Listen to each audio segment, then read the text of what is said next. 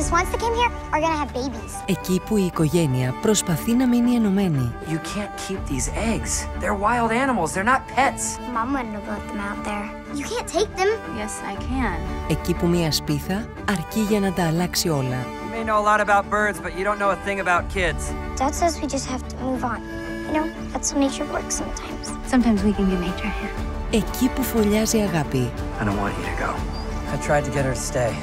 Well, you didn't try hard enough. Σάββατο στις 10 το πρωί στο Μέγκα Σίνεμα.